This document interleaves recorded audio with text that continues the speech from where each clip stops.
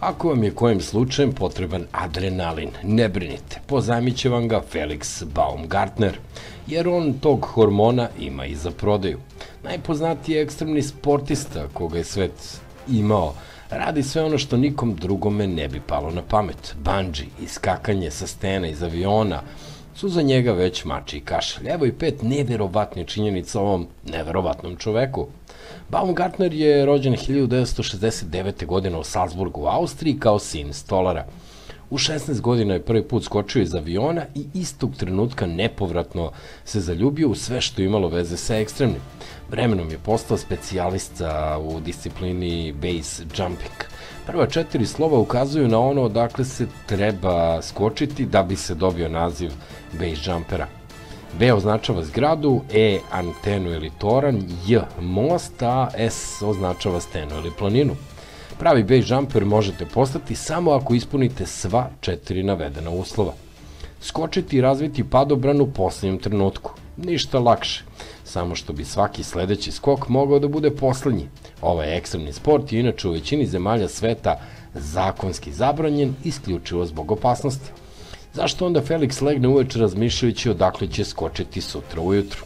Uvek ima nešto novo da se uradi što do sada nije urađeno. Svako je rođen za nešto, a ja sam eto rođen za ovo, objasnio je Baumgartner. Počeši da se bavi base jumpingom, nije mu trebalo dugo da zakupi maštu u javnosti. Mera za razmišljanje je skočio sa 108 metara visokog mosta Puentes de las Americas u Panami, koji razdvaja Srednju i Južnu Ameriku. Popeo sam vrh mosta u 5 sati ujutru, a skočio je tek u 8.14 kada su uslovi bili perfektni. Čim je otvorio padobran i nekako živ doskočio, lokalna policija ga je uhapsila. Proveo nedelju dana u zatvoru. Skočio je i sa jedne od e, najviših zgrada na svetu sa 88 spratova visokog giganta Petrona Skule u Kuala Lumpuru, prestonici Malezije. Takođe je jedini čovek koji je preleteo La Manche bez motornog pogona. Leteo je 14 minuta od Engleske do Francuske sa specijalno dizajniranim krilima.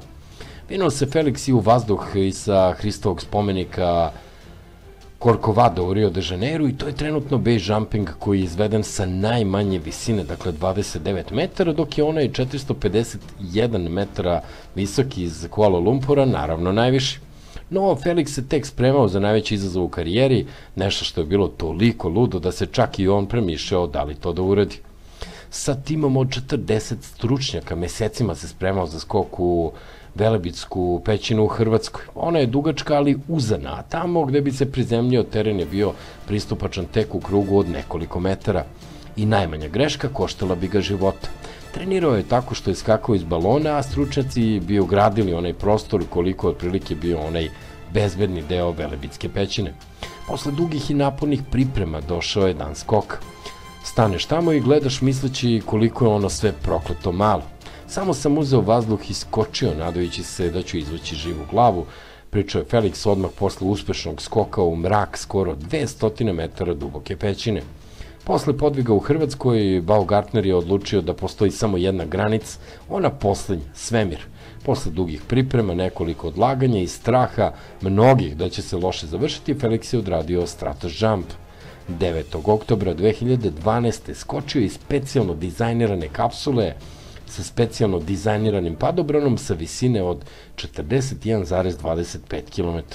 Bilo je komplikovano, skupo, ali uz pomoć Red Bulla i svoje lude hrabrosti on je uspeo. Postoje prvi čovek koji je bez pomoći vozila probio zvučni zid. U jednom trenutku je pao u nesvest, ali se oporavio i doskočio bez problema. Rekao je posle tog istorijskog dostignuća da mu treba odmor, ali budite sigurni da će se ubrzo vratiti i uraditi još nešto toliko ekstremno da vam se kosa digne na glavi, jer Bog dlaku menja, ostatak znate i sami.